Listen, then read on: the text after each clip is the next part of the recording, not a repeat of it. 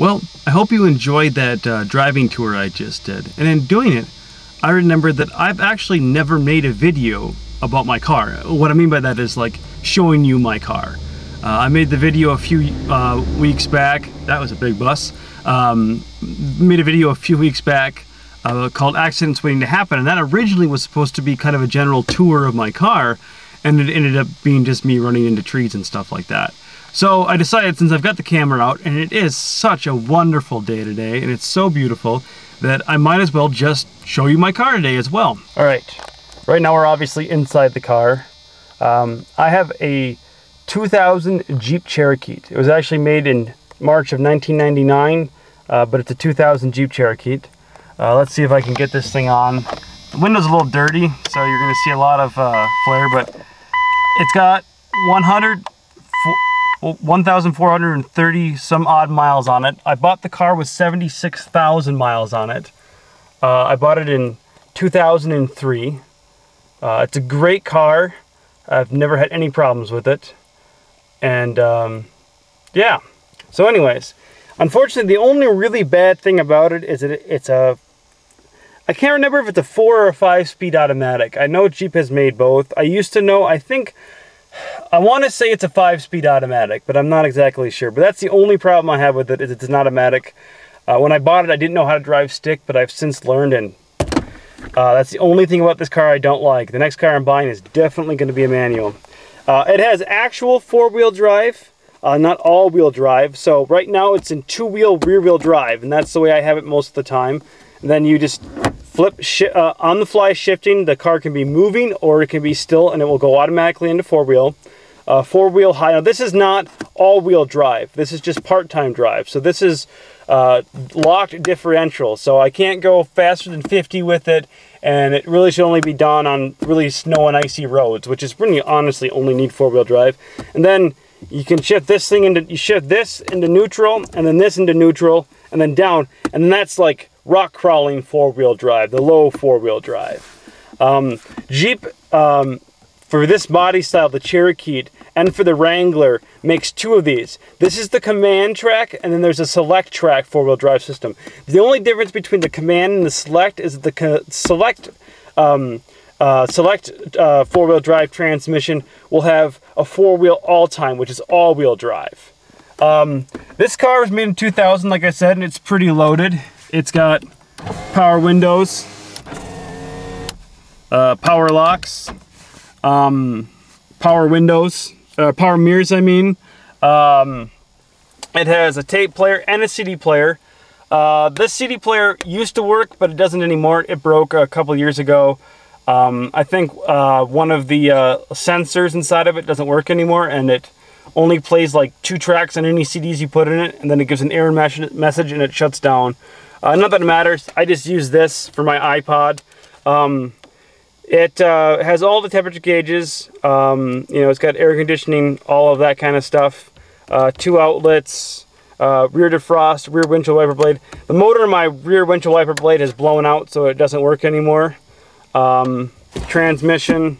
It's got the e-brake. It's a pretty basic interior. Um, you know, there's my tripod from the video. Uh, you know, it's not the limited edition or anything like that, but it's a nice car.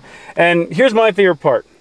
Cup holders. Now you're thinking, well, cup holders? Why is he so impressed with those?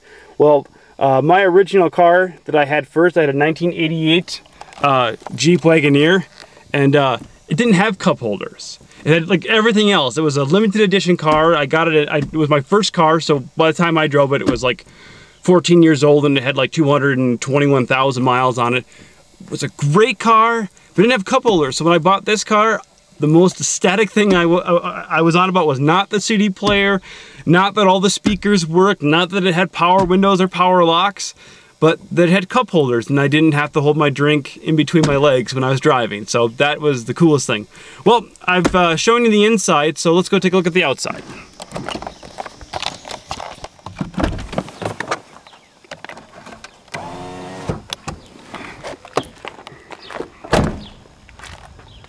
All right, like I said, it's a uh, 2000 uh, Jeep Cherokee, the old boxy uh, body style. Um, this is my favorite car. It was actually my dream car. uh, when I was growing up. I just, I love this body style. It's so simple, it's so uh, nice. It was, you know, back before they were worried about aerodynamics, so it has some character. It doesn't look like these, uh, like that BMW that just passed, all bubbly. Um, it's a just it's a great car, and unfortunately, Jeep stopped making these in 2001, so you can't buy these anymore. So maybe if I'm able to keep it somewhat looking good, um, it'll uh, be a collector's item someday. I'm hoping to have this car for a long time. Um, doesn't have any problems except for two things. Um, number one, I just noticed this. I've Got a hole in my windshield, and I gotta get that fixed before it uh, gets too bad, uh, before it cracks the rest of the windshield. And then don't know if we'll be able to see this or not, but I'll get underneath here and you, maybe we'll be able to see it. But, and I'll zoom in here. But uh, you see a little bit of liquid there on the ground?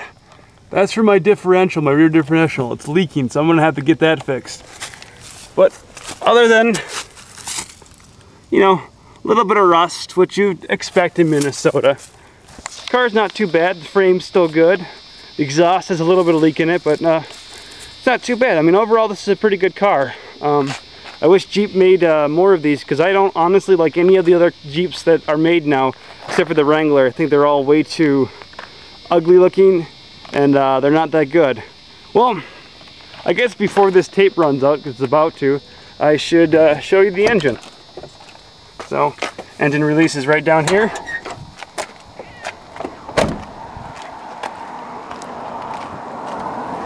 Flip the uh, secondary latch in there, put it up. She has a four liter straight six uh, engine. It's a pretty decent engine. Uh, works pretty well. Um, not underpowered for the size of the vehicle. I know that they put these same engines in the Grand Cherokee, so they used to, the bigger versions, and they were so underpowered.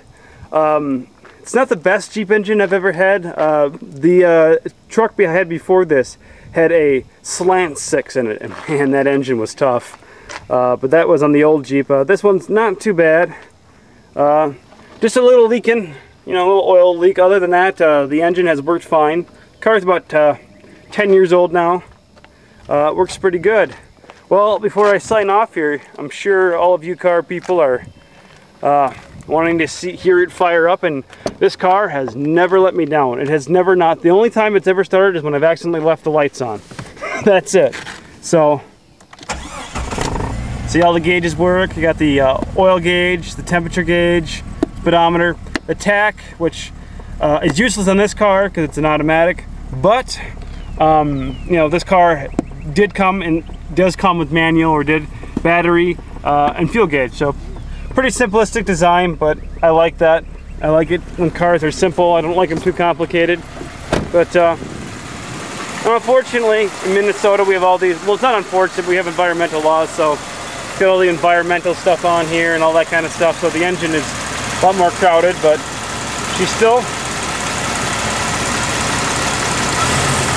still sounds pretty good. You know?